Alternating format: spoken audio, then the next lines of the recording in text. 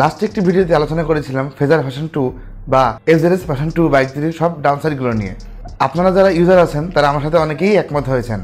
আমাকে সাপোর্ট করার জন্য আপনাদেরকে অসংখ্য ধন্যবাদ। যাই হোক, আজকে আলোচনা করব এই Fazer version two FZS version two bike দুটির সব সমস্যা এবং তার সমাধান নিয়ে। ভিডিওটি শুরু করার আগে এখনই লাইক কমেন্ট শেয়ার এবং সাবস্ক্রাইব করে পাশে থাকা বেল আইকনটি বাজিয়ে দিন। এবং যারা ইতিমধ্যে সাবস্ক্রাইব করেছেন, তাদেরকে অসংখ্য ধন্যবাদ। পুরো ভিডিও জুড়ে থাকছি আমি ফাইম আপনাদের সাথে মোটরবাড়ি থেকে। তাহলে চলুন বেহি দেরি না করে ভিডিওটি শুরু করা যাক।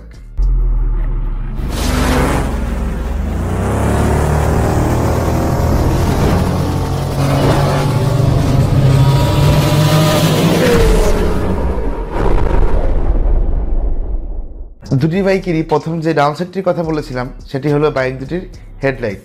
দুটি বাইকেই হ্যালোজেন হেডলাইট ইউজ করা হয়েছে, যার জন্য রাতে হাইওয়েতে রাইড করতে প্রবলেম হয়। এই সমস্যার সলিউশন হিসেবে হ্যালোজেন হেডলাইটটি খুলে রেখে এলইডি হেডলাইট লাগিয়ে নিতে পারেন, অথবা এক্সট্রা কি লাইট ইনস্টল করতে পারেন। ইয়ামাহা এফজেডএস ভার্সন টু বা ফেজার ভার্সন টু বাইক দুটির ব্যাটারিয়ার মান যথেষ্ট পরিমাণ ভালো। এক্সট্রা কি লাইটের লোড খুব ভালোভাবেই নিতে পারবে। দুটি বাইকেই air cooled cooling system use করা হয়েছে। যার জন্য ইঞ্জিন হিটিং ইস্যু থাকছেই।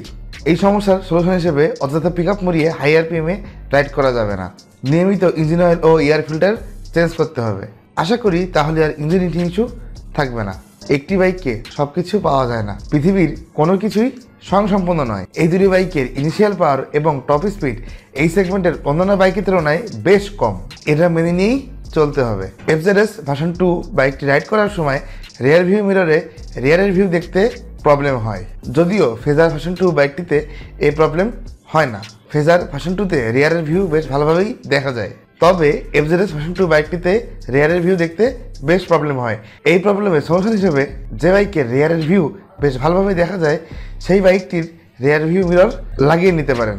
দুটি বাইকেই one sixty M M ground clearance দেওয়া হয়েছে, যাতে প্লেয়ার নিয়ে রাইড করলে সিটিতে অধিকাংশ স্পিড ব্রেকারে নিজে ঘষা খায়। এজন্য স্পিড ব্রেকার ক্রস করার সময় বেশ সাবধানে আস্তে আস্তে ক্রস করতে হবে, অথবা স্পিড ব্রেকারে সোজাসুজি ক্রস না করে একটু কার্ভ হয়ে ক্রস করতে হবে।